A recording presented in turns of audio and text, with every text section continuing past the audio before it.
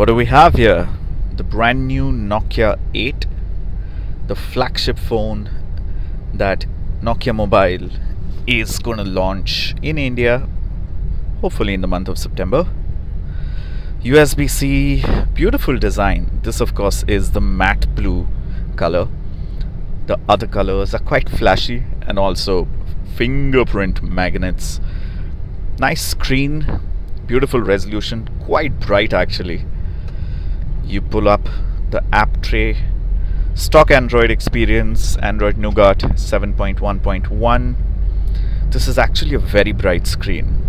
मज़ा आएगा इसको sunlight में देखने को I think it goes up to 700 nits.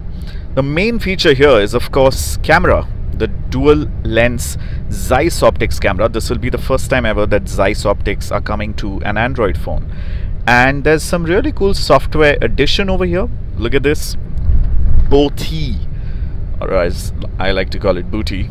Jump you can see both the cameras at once. You can either swap for rear camera, front camera or opt for a dual view. And of course, the dual lens system is in the form of a monochrome lens and a color lens color sensor and a monochrome sensor so you can choose the monochrome sensor for black and white and the color one or the twin one for color and depth information of course आपको bokeh मिल जाएगा if you use the dual lens twin lens version this is really the big deal over here. Click on video and apart from recording portrait or landscape video, you can also go live instantly on Facebook or on YouTube.